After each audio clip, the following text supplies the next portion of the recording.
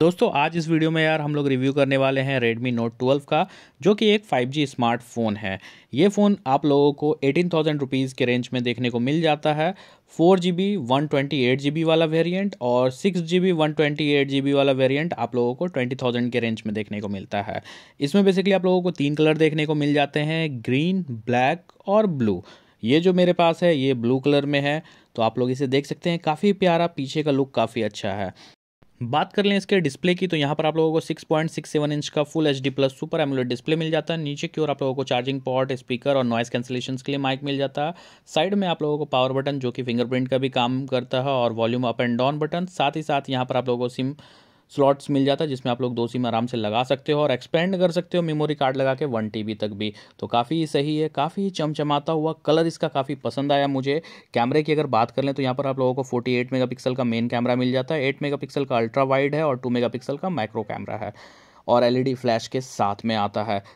Front में आप लोगों को थर्टीन मेगापिक्सल का कैमरा मिल जाता है। अगर आप इसके चिपसेट की बात कर लें तो यहाँ पर आप लोगों को स्नैपड्रैगन फोर जेन वन वाला प्रोसेसर देखने को मिल जाता है। Out of the box MIUI thirteen Android twelve के सपोर्ट के साथ में आता है। तो यहाँ पर आप लोग देख सकते हैं एंड्रॉयड ट्वेल्व मिलता है।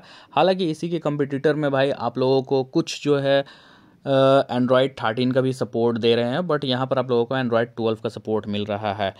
ये स्मार्टफ़ोन का डिस्प्ले मुझे यार काफ़ी सही लगा। बैटरी की अगर बात कर लें तो 5000 थाउज़ेंड की जो है वो आप लोगों को बैटरी मिल जाती है। 33 वॉट का फास्ट चार्जर देखने को मिल जाता है। यहाँ पर आप लोगों को कैमरा क्वालिटी भी ठीक ठाक देखने को मिल जाती है। 48 मेगापिक्सल का मेन कैमरा है। इसका मेन कैमरा स्पेशली यार मुझे काफ़ी सही लगा।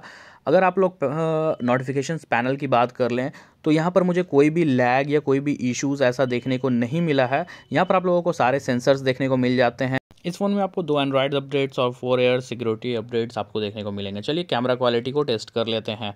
तो यहाँ पर भाई कैमरा जो है, इसका मुझे ठीक ठाक लगा और मेन कैमरे की अगर बात करूँ प्रेस तो मुझे काफ़ी सही लगा। यहाँ पर आप लोगों को 48 मेगापिक्सल का मेन कैमरा मिल जाता है एफ़ वन के साथ में और 8 मेगापिक्सल का अल्ट्रा वाइड कैमरा है।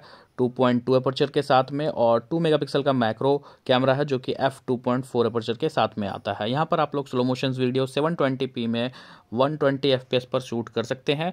साथ ही साथ वीडियो रिजोल्यूशन की नॉर्मल बात करें तो 1080p 30 fps तक आप लोग इसमें शूट कर सकते हैं।